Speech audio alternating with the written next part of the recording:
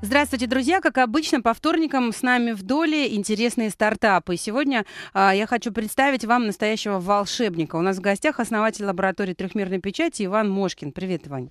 Привет. А, Иван а, один из первых, а может и первый человек, который привез в Россию возможности из воздуха делать все, что угодно. Практически.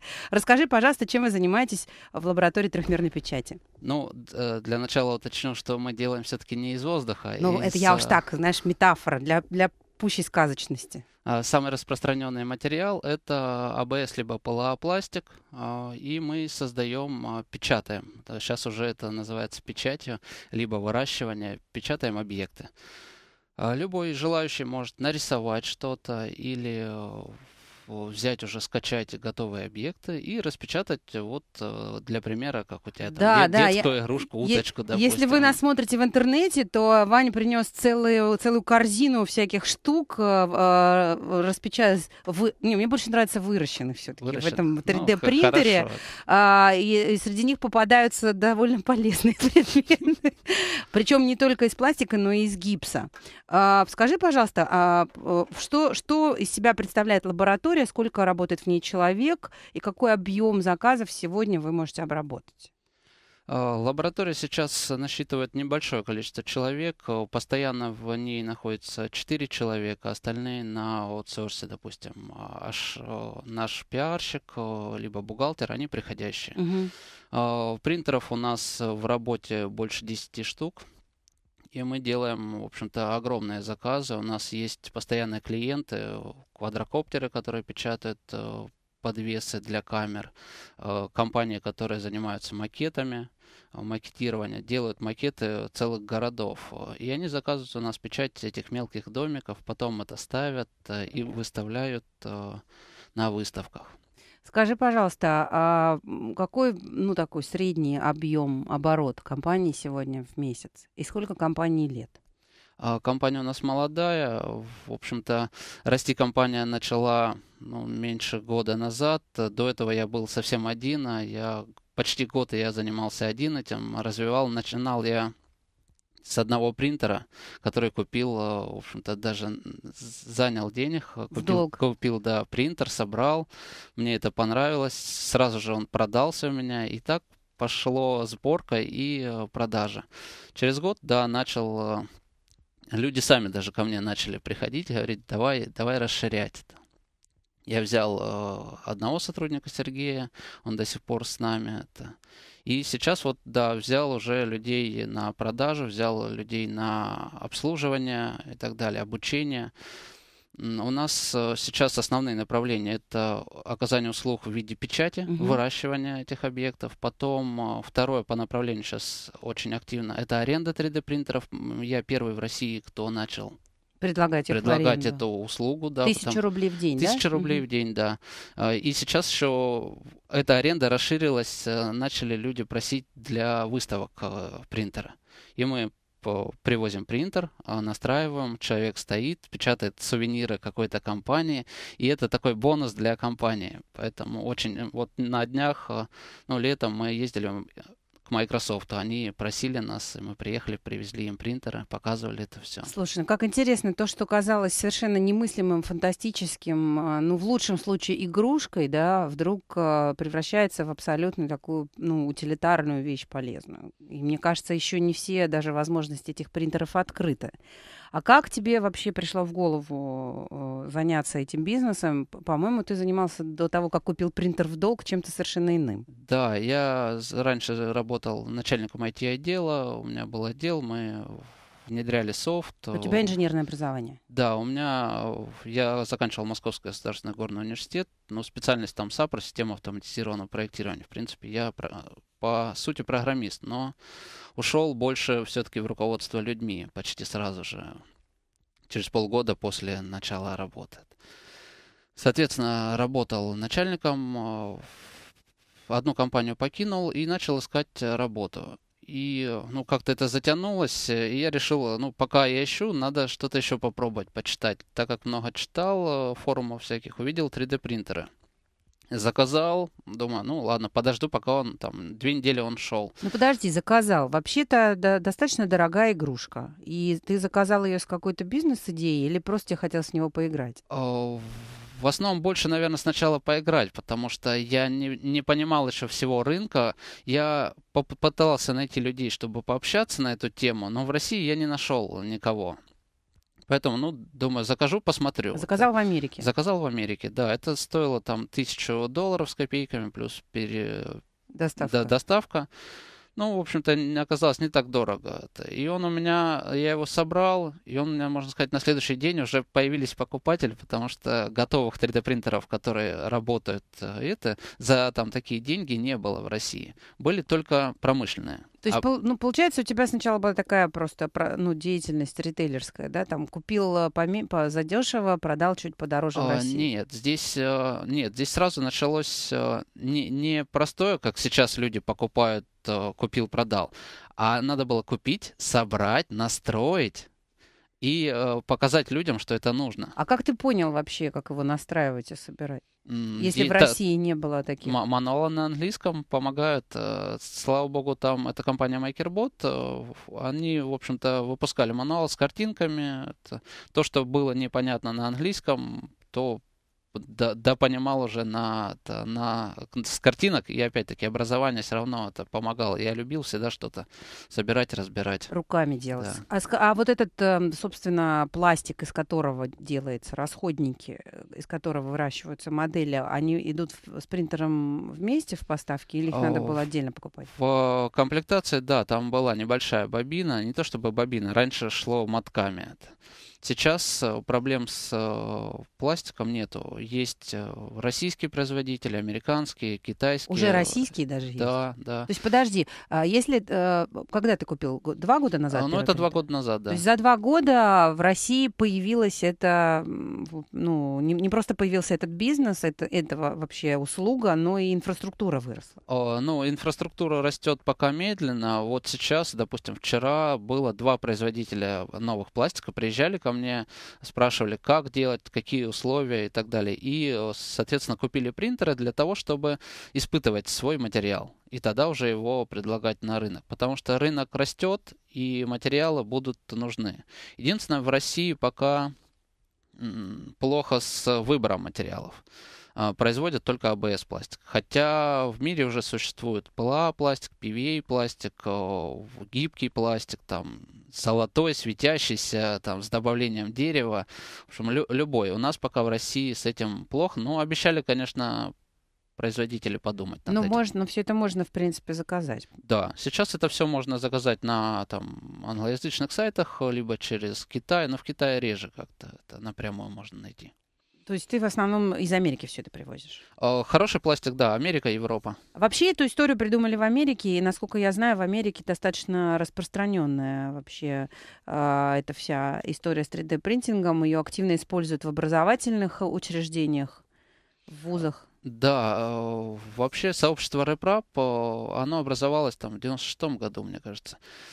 И оно очень лавинообразно начало расти за счет того, что каждый принтер мог напечатать следующий принтер, запчасти для следующего принтера. Да ладно. За счет этого я тоже, в общем-то, выросла моя компания, потому что я начал собирать эти принтеры. Потому что у меня один стоит принтер, он печатает детали для другого, я его собираю.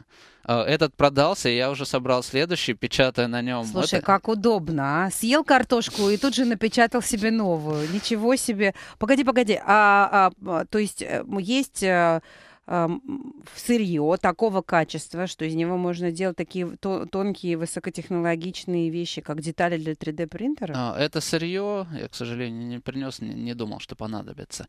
А, идет в виде нити. А, нить толщиной либо 3 мм, либо 1,75 мм. Эта нить а, подается в экструдер, там расплавляется при высокой температуре, и слой за слоем наносится объект и формируется. И так растет эта модель. То есть ты покупаешь какую-то там, ну вот эту бошку, как, грубо говоря, как, да? Катушку с нитками. С нитками, там, покупаешь. Э, камеру, в которой все это можно вылепить, а лепишь уже на месте. Да, и она потихонечку растится. Как интересно. Продолжим после новостей. У нас в гостях основатель лаборатории трехмерной печати Иван Мошкин, 65 10 99 6 наш московский телефон, сайт finam.fm, э, заходите на страничку программы в доле. А, да, у меня, конечно, не укладывается в голове, а, я никогда не видела а, результатов работы 3D-принтеров, я о них слышала, но я почему-то думала, что это все какие-то такие, ну, не слишком э, утилитарные вещи, не слишком функциональные. Ну, какие-то макеты, да, наверное, 3D-модели чего-нибудь там, да, для архитекторов, для каких-нибудь конструкторов, строителей там и прочее.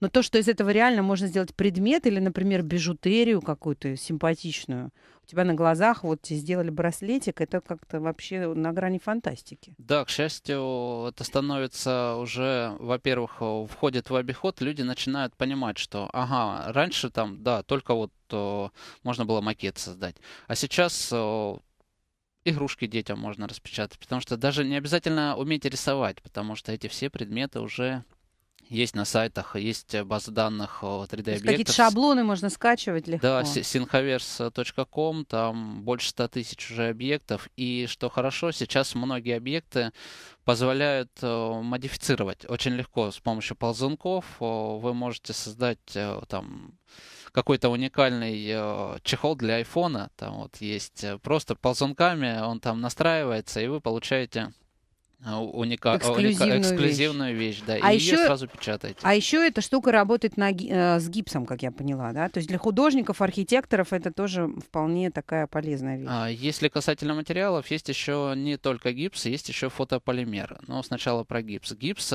позволяет создать э, цветные, э, красивые объекты. Вы всегда можете там напечатать церковь и сразу видеть, э, в каком она цвете, выставить. Это выставочные экземпляры. Это очень красиво и наглядно. Сейчас многие компании Nike, Adidas, Puma, они все закупили такие 3D-принтеры и печатают первоначально вот эскизы обуви. моделей обуви. Да чтобы увидеть, посмотреть, красиво, некрасиво, цвета, сочетания и так далее и можно это, можно сказать, потрогать. Да, конечно, это не будет э, мягко или надеть нельзя будет, но ну, визуально будет максимально близко к, э, к оригиналу. К оригиналу. Да. А скажи, а с металлом работают эти принтеры? А, сейчас появились, да, несколько компаний, которые выпускают э, металлом, но в, даже в России уже есть, я знаю, что купили таких пару принтеров, но стоимость очень высока. От полумиллиона это не без долларов. Налог, да, полмиллиона долларов. Это самая дешевая модель. А, без налогов, без доставки, без установки и всего остального. Но это... если на них печатать золотые украшения, например, то а, это там... скоро окупится. Нет, нет, там а, все-таки больше другие металлы. Там двигатели внутреннего сгорания можно за один проход э, распечатать. Э, что-то такое. Вы вообще слышите, уважаемые наши радиослушатели? двигатель внутреннего сгорания можно распечатать на принтере. Это же так э, или иначе когда-нибудь эти принтеры вытеснят людей э, с рынка конструкторского, там, я не знаю, архитектурного Нет, и как, прочее. как раз таки наоборот, э, архитекторы смогут реализовать все свои мечты. Они нарисовали и сразу же раз и распечатали. Во-вторых, удобно то, что это перераспределение производства. Не надо держать огромное производство где-то в каком-то уголке нашей страны. Один по... станок делает винтик, по... второй станок делает гайку, да, да? У каждого есть э, свой станок, и каждый делает какие-то свои э, изделия. И получается, нужно пересылать только сам материал. И получается, там раз, вот один дом там имеет 10 принтеров, что-то собрали с, вместе, каждый распечатал по чуть-чуть, все, машину уже там собрали, готово. Это мне сразу вспоминается, по-моему, Кира Балучева, дома строились из шланга, просто поливались конструкции какими-то жидкими кораллами. А так с... мы скоро дома будем выращивать в принтерах? А, уже, уже, уже есть такие принтеры, которые печатают дома. Такие в... огромные? Да. Ну, по крайней мере, одна двухэтажная я видел. У нас есть видео, которое запечатлено, как это все. Соответственно, там экструдер немножко по-другому идет. Экструдер тут... это что? Экструдер это устройство, которое именно выдавливает либо пластик, либо этот бетон, либо... А смотри, а как это вообще работает? Э, это же не, не, не в форму заливается жидкий пластик, да? То есть это не какая-то форма создается, а какая-то, как а, какой-то пистолет, да, расплавленным Но, пластиком. Да, мож, можно привести аналогию с э, клеящим пистолетом. А, соответственно, с одной стороны подается проток, а, потом он нагревается и двигается через, через вот этот нагревательный элемент и выходит через тоненькое сопло, допустим, 0,4 мм. И такая идет маленькая ниточка. И эта ниточка наносится уже по заранее заданному траектории. По, по, по, по заданным координатам. То есть координатам, ты, задаешь, да. ты, ты даешь виртуальную форму, а он из нее формирует реальный объект. Да, человек э, загружает в программу STL-модель, а, либо там сейчас и другие можно и программа уже нарезает на слои и показывает, как должен, а, куда должен, двигаться экструдер, с какой скоростью подавать, э, и так постепенно формируется модель. Ну, наверное, есть минусы свои у этих принтеров. Насколько я понимаю, пока это все без шероховатости не обходится. А, ну, как сказать, э, вот предмет, который у тебя в руке, браслет, браслет он распечатан всего лишь 300 микрон. А рука, э, которая распечатана у тебя там стоит, там 100 микрон. Если ты посмотришь, то шероховатости почти нету. Ну, по крайней мере, в три раза меньше. То есть его постфактум не нужно там как-то дорабатывать, шлифовать ну, и вот э, прочее? руку такую, да, предмет, это сразу же можно использовать, поставить, можно даже покрасить и все. Рука, друзья, это, ну, статуэтка, кисть руки объем объемная да, такая.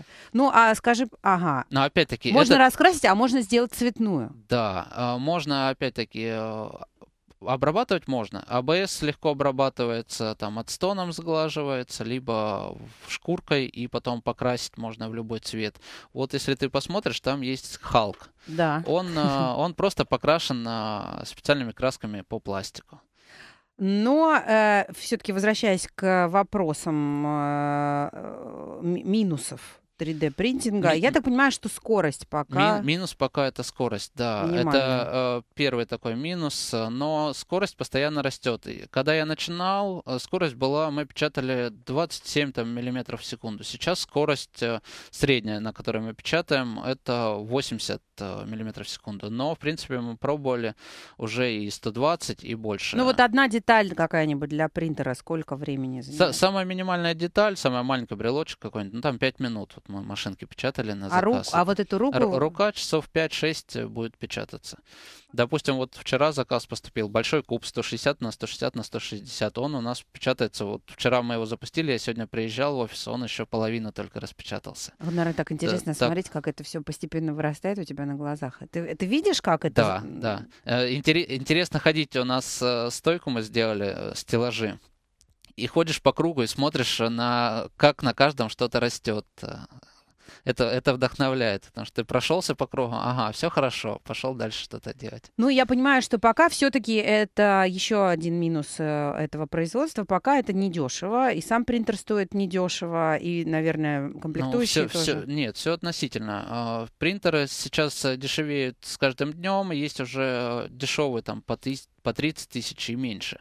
Ну, Но на них можно сделать только какой-нибудь вот о, Ну, игрушку. да, та, та, там качество будет не сильно хорошее, потому что там 3, 300 микрон самое минимальное. Ну, можно попробовать, конечно, но лучше все-таки там взять тысяч за 100. Вот у нас сейчас самая популярная модель это MakerBot Replicator 2. Она самая быстрая, самая точная, самая хорошая. Из э, пластиков, пластик сейчас очень дешев, там, за тысячу рублей можно купить килограмм. Из килограмма получается килограмм изделий каких-то. Вот брасле... а, да? Браслетик Серьезно? весит 10 грамм, считай, 100 браслетиков ты сможешь То есть это совершенно такое безотходное производство, да? А, нет, отходы какие-то есть, но они минимальны. Допустим, там идет ниточка для разогрева, чтобы угу. пятно или подложка под большие объекты. Да, она удаляется, но это там до 50% максимум от всего. А сколько стоит сканер, который строит дом? Ой, принтер. Э, таких цен пока нету, но я, по крайней мере, не видел. Я видел, да, эти проекты, которые строят э, дома, но нигде официальных данных нету. А из чего он их строит-то? Из, тоже из пластика? Бетон. Бетон, специальный бетон э, подается также как на стройке есть э, бетономешалка, которая подает бетон. А здесь э, через этот экструдер, который выдавливает, также идет э, по заданному маршруту по и периметру. по периметру и стенки эти заливает. Что хорошо, там всегда можно учесть закладные поставить, где надо. Всегда изменить. Стены могут быть изгибающиеся. Не просто квадрат-монолит. Поэтому это очень удобно. В нашей стране пока это тяжело, представить, как это будет, потому что у нас все-таки строительство монолит э, больше, чем А вот в Америке, где тепло, там не обязательно иметь такие толстые стены. Там это вполне востребовано будет через То есть реально лет. там за неделю построить домик. Обалдеть. Вы, а, с мощностью одной машины. А скажи, я знаю, что вот э, в Америке в э, достаточно большой рынок, э, достаточно большое количество 3D-принтеров покупается в системе образования. А, а да. для каких, для чего там их используют для студентов? А, студенты для того, чтобы, во-первых, научиться рисовать, во-вторых, научиться моделировать в трехмерных редакторах. И самое полезное, что они все могут увидеть то, что они создали.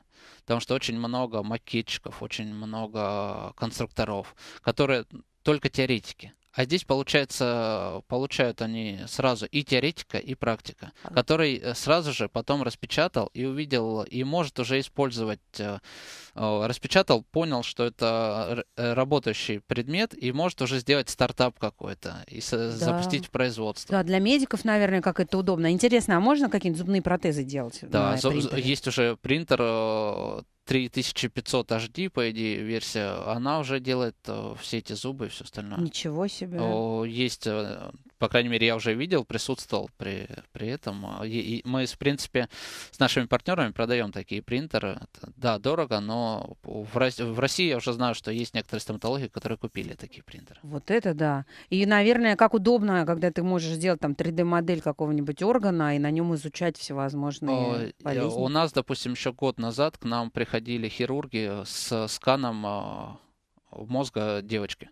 Мы полностью его распечатали, и это был тестовый образец для предоперационных действий. Они на нем изучали, как там вскрывать ей череп. То есть, в принципе, это не только коммерческая история, но она на самом деле может вполне послужить человечеству э, и, и побороться с некоторыми нашими серьезными проблемами. Ух ты, друзья! Да. Говорим о трехмерной печати и продолжим после новостей. Сегодня общаемся с основателем лаборатории трехмерной печати Иваном Мошкиным, э, хотя, конечно, термин трехмерная печать в полной мере не может передать, э, как мне кажется, того факта, что это абсолютный какой-то креационизм. Вот не было ничего, а вот у тебя в руках совершенно готовый предмет, которым ты можешь пользоваться просто, ну, из воздуха практически. Ну, хорошо, из, из мотка пластика или там, не знаю, гипса, из кучки бетона ты создаешь функциональные объекты. Это удивительно. И это, конечно, Совершенно на грани фантастики. Я думаю, что какие-нибудь писатели-фантасты середины 20 века, которые не дожили до этого момента, они были бы в полном восторге, увидев, как их идеи реализуются. Ведь, наверное, и придумал же... Может быть, да. Это из, же придумал какой-нибудь фантаст. Из фантастов, да. да, люди потом подумали, а почему бы так не сделать? Потому что очень многие люди там смотрят э, какие-нибудь э, фильмы фантастические, и потом думают, а почему бы так не сделать? И это, я считаю, в общем-то, правильно было. На, на, надеюсь, так и было. По крайней мере, мобильные телефоны, видеосвязь и, и интернет как раз, мне кажется, были точно придуманы фантастами в свое время. Да, старичок Уэллс был бы рад познакомиться с Иваном Мошкиным. Ваня, скажи, пожалуйста, а в России-то вообще э, образовательные какие-нибудь структуры э, обращаются к вам? Вузы, я не знаю, там школы какие-нибудь э, дизайна? Ну вот, получается, с знакомства с городом и с какими-то благами для предпринимателей я начал с школа, международная школа бизнеса. Я узнал, что они проводят бесплатные семинары для, для предпринимателей, для малых предпринимателей. А, я пошел неделю отучился, пообщался с кураторами, и они, в общем-то, а, рассказали показали, что да, сейчас город начинает помогать, во-первых, предпринимателям вставать на ноги, и они хотят делать так, чтобы росло образование. Угу. Сейчас мы э, подаем заявку на субсидию. Э, для начала там маленькая субсидия просто как, как помощь. А следующую субсидию мы договорились подать в таком виде, что мы будем заниматься обучением. Обучением детей. Работе вот, на этих принтерах. Не, не только работе с этими принтерами, но и моделированию. Моделированию, вообще об, общеобразовательное такое. Мы заключим контракт с несколькими школами в центре, так как мы сейчас на Китай-городе переехали в новое помещение, то там, в общем-то, мы сделаем лекционный зал для того, чтобы обучать детей, показывать, как это, как рисовать, как программировать, как, как потом распечатать и что потом с этим можно делать. А с какого возраста ребенок может уже начать учиться этому? Как думаешь? Я видел детей там с пятилетнего возраста, которые э, на iPad рисуют, э, есть программки, которые рисуют, и она автоматически уже создает, там, вытягивает этот объект, э, и просто по наброску можно уже создать трехмерный объект, который можно потом распечатать. Поэтому, нет, мы, наверное, начнем там с какого-то пятого класса пока, потому что у нас не, нету педобразования, чтобы поработать совсем с маленькими. Но какие-то пятиклассники, а лучше там десятиклассники, которые, которым может э, помочь определиться в жизни, что же им надо, мы вот начнем с них, наверное. Это что-то типа, как у нас в школе было УПК, да? Такое, да, да, про, да. Проф, про, про, проф какие-то образования. образования. Ничего себе, повезло ученикам центральных московских ну, школ. Ну, еще, еще пока не повезло, мы еще работаем над этим. Но, опять-таки, мы сейчас по средам а, проводим курсы, обучающие э, трехмерным редакторам, бесплатным, либо платным. Для детей в том числе? О, ну, в основном все-таки наша аудитория — это работающие люди, дети не, не приходили пока, потому что, ну, ну, не знаю, это надо заинтересовать родителей. А когда мы на форумах различных общаемся, там, да, дети очень сильно смотрят, им интересно. Некоторые даже думают, о, папа, там рассказывают своим родителям, как как печатает трехмерный принтер. А, возвращаясь к, твой, к детству твоего бизнеса, а, а, я напомню нашим слушателям, что ты купил первый принтер в долг просто ради прикола, собрал его и тут же продал, потому что оказалось, что это очень востребованная история. А как тебе пришло в голову, во-первых, все-таки заняться самому производством трехмерных, выращ... выращивания всяких штук? И, и ты же, по-моему, один из немногих а может быть, единственный сейчас в стране, кто не просто эти принтеры продает, а еще их э, производит, или уже нет? А, нет, я не единственный. Я, к сожалению, долго шел к этому, к сожалению. Надо было чуть раньше увидеть о том, что все-таки... Возможность. Да, возможность, что надо было либо занимать денег, развиваться надо было активнее, конечно. Но я всегда действовал по принципу развиваясь на свое. Что заработал, то, и, то тем и рад, как говорится. Сейчас я понимаю, что да, надо было просить э, у государства, надо было там брать в долг, э, чтобы быстрее, потому что а, начал как я? Да, купил, продал, собрал. Потом я понял, что очень долго все это идет. Месяц, иногда два в Новый год. Я начал собирать э, рэп-рап принтеры. Сначала сам собирал, потом... По Поясни, пожалуйста, RepRap, это который, половину из которых ты сделал здесь на месте, Да, да? RepRap — это сообщество э, самовоспроизводящихся принтеров, ага. которые печатают сами детали для себя. Те пластиковые детали, которые в принтере, они сами себя печатают. Я их начал печатать. Э, сначала там Mendel, потом их много очень разных моделей, Printrbot. Э, потом вот последнее, что я делал, это MendelMax, очень качественный, уже с двумя экструдерами. Но потом со временем понял, что надо, наверное, все-таки двигаться к своему принтеру. И вот сейчас мы уже несколько месяцев э, разрабатываем свой принтер. То есть вы конструируете свой собственный да, эксклюзивный мы, принтер? Да, мы рисуем. Так как у нас опыт уже с различными принтерами есть, то мы пытаемся создать что-то уникальное и удобное в обслуживании, потому что есть очень много у всех недостатков мелких, но все равно неприятных. Например? По а, как почистить сопло? Забилось с плохим китайским пластиком. Надо разобрать пол принтера, чтобы mm-hmm. его почистить. Мы делаем так, чтобы либо оно совсем не забивалось, либо если забилось, то легко было почистить.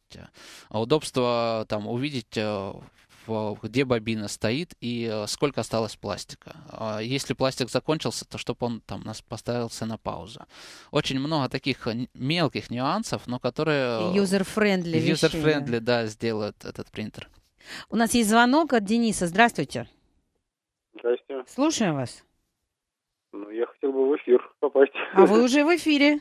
Добро пожаловать в Финам ФМ, программа «Вдоль». Слушаем ваш вопрос. Господи. Я не в тот эфир звоню. Я, наверное, вот так жаль, вот. жаль. Заслушался, бедный. Хотел позвонить про УДО и спросить, а попал к нам. 65 10 99 6 наш московский телефон. Звоните в тот эфир. А если у вас проблемы с телефонной связью, заходите на finam.fm в страничку программы в доле. А, вот Иван интересуется, повлияет ли э, производство собственных принтеров на, на цену? Ну, очевидно, на цену того, что они производят, и, может быть, на цену самих принтеров. А, да, э, цена принтеров по сравнению с американским, они э, будут меньше. Э, по сравнению с китайским, может быть, будет чуть больше в начале, но будет больше, пока не вырастет производство мы наращиваем свои какие-то производственные мощности и будем обращаться еще к поставщикам. А, а ты сам а, занимаешься конструкторскими вопросами или нанимаешь людей? А, у нас есть сотрудники, которые хорошо рисуют. Э, сначала мы сами рисовали, вот мы создали первую версию, уже собрали полностью, запустили и поняли, что что-то мы не учли. И мы сейчас, э, к сожалению, начали вторую версию мы ее пытались анонсировать, потом, слава богу, успели снять все анонсы, потому что нам не понравилось самим. А если не нравится самим, то надо заворачивать. Мы сейчас полностью перерисовали и сейчас дадим в производство. К сожалению, вот еще есть проблема с производством. Вроде бы у всех оборудование есть. Но, во-первых, заказы все просят в Москве там от 50 тысяч или там от 10 тысяч штук. То есть и нужно, так далее. нужны очень серьезные объемы, да? Да, а вот ты приходишь, э, вот есть фаблабы так называемые, но в них тоже тяжело попасть, чтобы что-то сделать. Э, либо там нету тех материалов, которые тебе нужны. И получается сделать предсерийный образец очень тяжело. С этой точки зрения, вот мы сделали шаг навстречу тем людям, которые тоже так же мучаются, предсерийное производство. Мы печатаем вот как раз-таки вот предсерийные материалы. Мы сдаем в аренду принтеры, чтобы человек мог, прийти, попечатать что-то, посмотреть, нравится это ему или нет. Если у него там вышел макет, который ему нравится, он его отдает уже в серию. Потому что первый макет очень всегда, если сразу сделать отливку, она стоит там 10 тысяч долларов. Это очень затратно. А здесь человек за 1000 рублей получает э, макет и понимает, ага, работает это или нет. 65 10 99 6 наш московский телефон. Здравствуйте, Юрий. Здравствуйте. Я хотел бы задать такой вопрос. А вот э, электронные платы, они тоже все стандартные? Э, то есть существует выбор этих электронных плат, да, там разные производители под эти принтеры производят. И программное обеспечение, э, оно тоже стандартное? Э, существует несколько программ? Или вы сами разрабатываете программы? Спасибо большое. Да, интересный вопрос. А, смотрите, платы, сейчас э, очень много различных плат. Каждый производитель пытается сделать что-то свое, но есть много универсальных, допустим, Ramps 4, который мы, в общем-то, иногда используем. Sanguina Lolo, самый дешевый вариант, допустим, можно самому собрать на нем. А мы вначале будем выпускать свои принтеры на, скорее всего, на каких-то известных уже э, хорошо зарекомендовавшихся оплатах, потому что а, они делают их тысячами, и это выходит пока дешевле, чем мы сделаем мелкую партию 50 штук. А софт? А, с софтом а, очень много open source софта, который бесплатен. А, мы нашли тот софт, который нам нравится, потому что создавать свой софт, э, да, имеет смысл, когда ты уже огромная компания, и тогда можно с нуля. Мы нашли тот софт, который нам нравится, он уже русифицированный, мы просто вносим свои профиля, вносим э, свои настройки, э, дорабатываем его, и уже он будет выпускаться у нас с этим софтом. А так, в принципе, к, чаще всего каждому принтеру идет свой софт. Э, но чем, чем хороши те принтеры, с которыми мы там используем MakerBot, у них о, нет привязки, э, жесткой привязки к конкретным, конкретным программам. программам, да, поэтому они удобны. Но э, судя по тому, по тем шагам, которые ты как бизнесмен предпринимаешь, до огромной компании, в общем, не так далеко. Ну да, надо э, сделать какой-то такой шаг, не побояться этого, потому что, ну да, у меня не было раньше своей компании, поэтому у меня идет э, рост. К сожалению, медленный, но все равно рост, рост идет. Я этому рад. Скажи, пожалуйста, когда ты понял вообще, что у тебя не просто там э, симпатичная контора, которая занимается интересным делом, инновационным, там ты стоишь у истоков какой-то большой новой волны технологической в стране, а когда ты понял, что это реальный бизнес? Ну, как, когда увидел, во-первых, ну, об, обороты какие-то есть все равно. Ты смотришь, раньше я там да, у меня на счету бывают какие-то, ну, раньше я покупал, там, 50 тысяч ты заплатил американцам, и ладно. А сейчас уже это, там, миллионы какие-то обороты. И уже удивляет. Миллионы рублей? Ну, миллионы рублей, да. Ну, пока не так много для производителей крупных это звучит, но для меня это все равно рост есть, там, 50 тысяч или несколько миллионов заплатить. Это. А, и, конечно, начинаешь наступать на какие-то грабли. Например? Допустим, Э, раньше я был там ИП, потом а, один раз заплатил 300 тысяч государства НДС, который не, не вернулся. Э, резко понял, что пора э, становиться ООО. О. Да, стал ООО, соответственно, сейчас боремся с НДС. Возврат, не возврат. В Москве, к сожалению, НДС не любят возвращать, поэтому приходится искать пути правильные такие, чтобы не нарушать закон и работать хорошо. Да, но при этом ты нашел способ э, э, как бы а, а, поддержку найти у правительства. С нами в доле основатель лаборатории трехмерной печати Иван Мошкин. Мы рассказываем вам о том, как можно а, из идеи вырастить реальные объекты. Теперь благодаря при принтерам, оказывается, можно уже не просто создавать функциональные детали для, самол... для там, пластиковых модели моделей, да, да, для, для вот, как это называется, хели... Хеликоптер. Хе...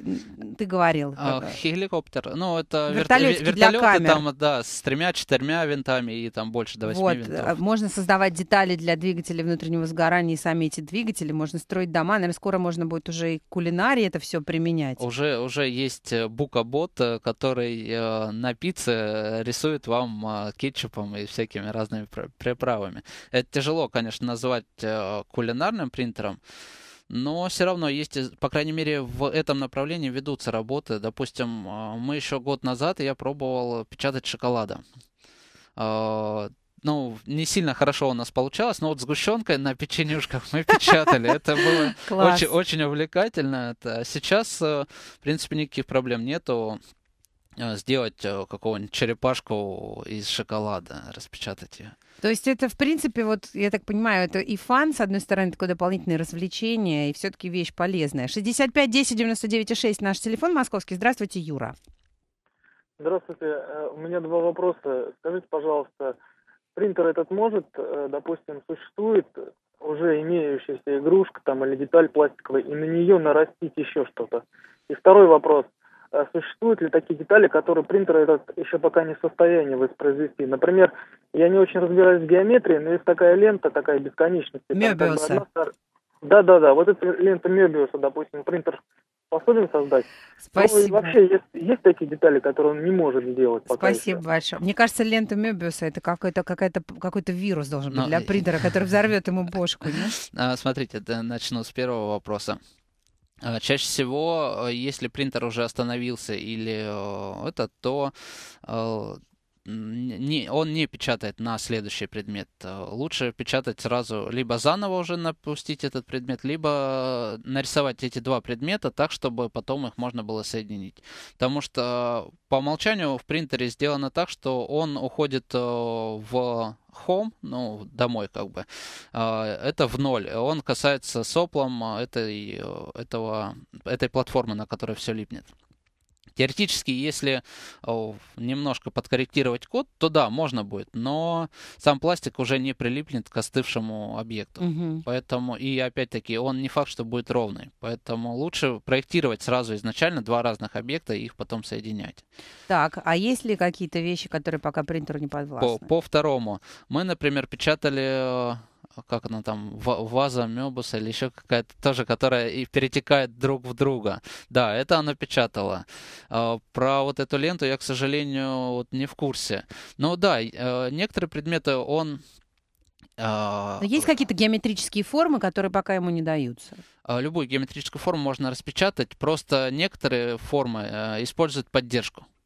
Как это? Вот, допустим, собака вы печатаете собаку.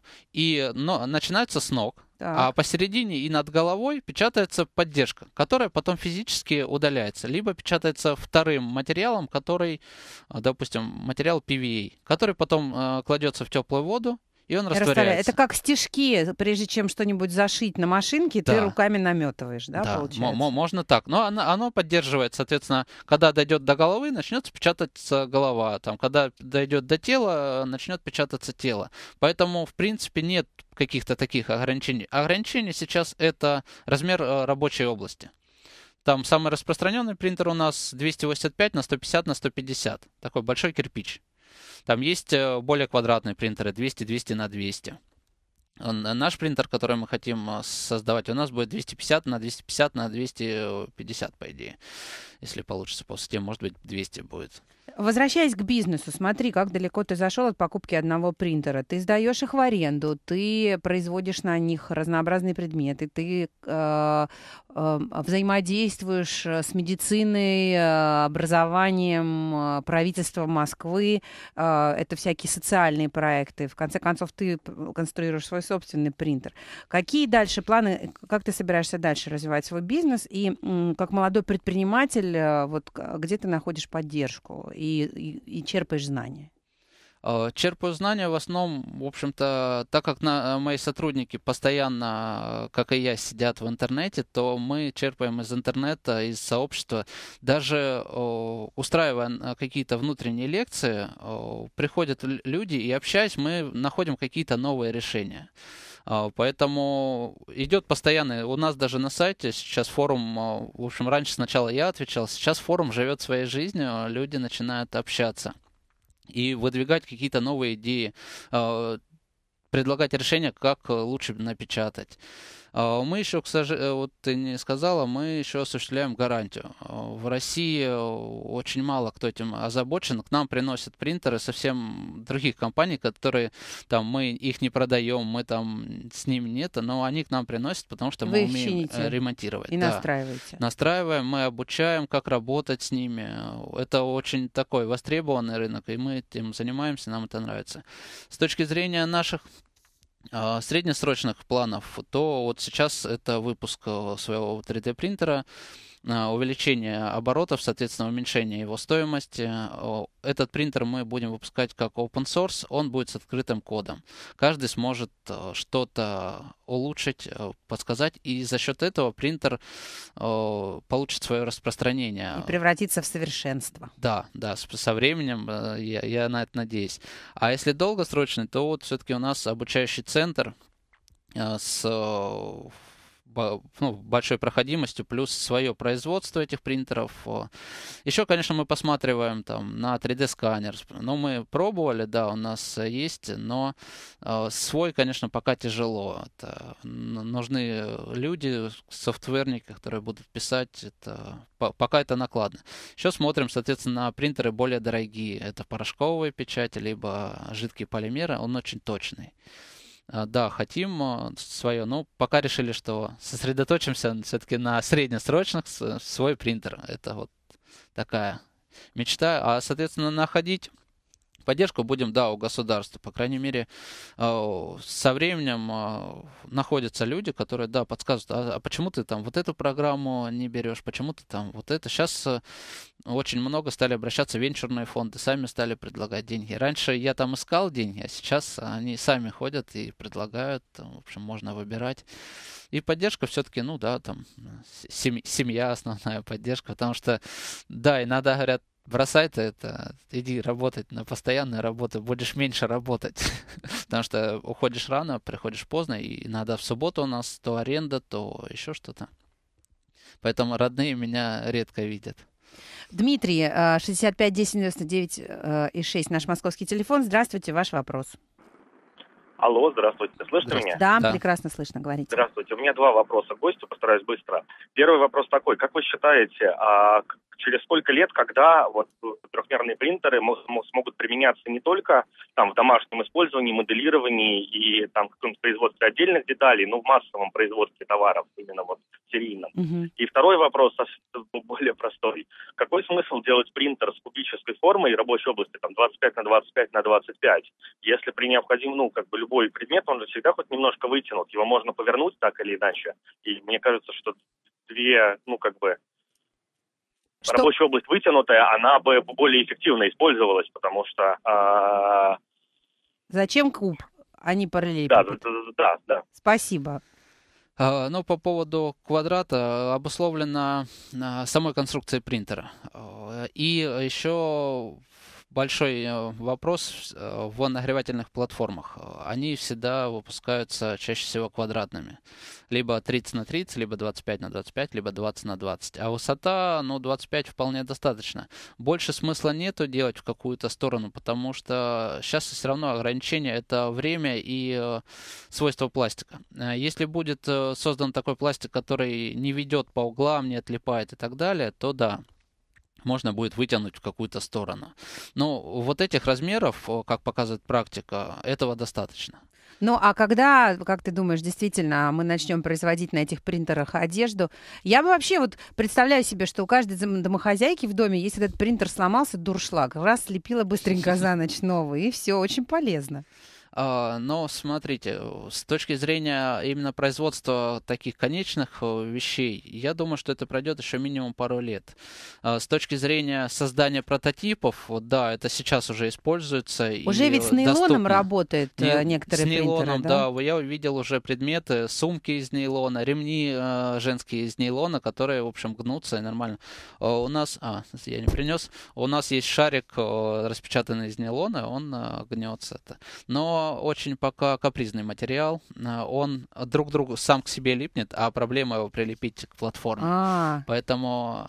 Ну, лет смотри... 20, да? Не, не, два, два, два года. Как? Да. Подожди, два года и будем одежду на принтерах печатать? А одежда сейчас уже печатается на принтерах. А, а в серийное производство? А, серия, э, вообще 3D-принтер и серия вещи несовместимые. Пока несовместимые. Да, вы можете индивидуально себя обеспечить э, с помощью этого 3D-принтера, распечатать там кожаные ремешки какие-то какие-то другого цвета, там всю бижутерию, а, элементы одежды, там, да, в дома крючки какие-то. Пока легкая промышленность и китайцы будут всегда вместе. А, да, смотрите, если это вот касается тысячи штук и так далее, то Китай э, победит пока, потому что это выгоднее Скажи, пожалуйста, а можно к тебе, я вот э, понимаю, что моему восьмилетнему сыну будет безумно интересно посмотреть, э, как это все происходит и выращивается, можно прийти к тебе с ребенком посмотреть? Да, конечно, мы сейчас находимся в центре метро Китай-город, всегда рады видеть гостей и интересующихся людей. Мы работаем с 10 до 20, чаще всего с понедельника по пятницу, но бывает такое, что и в выходные надо звонить. Прийти просто поглазеть абсолютно да, реально. Да. Мешать наш, мы вам не будем. Наш сайт lab3dprint.ru. Спасибо огромное, Иван Мошкин, лаборатория трехмерной печати. Всего доброго. Были с нами в доле.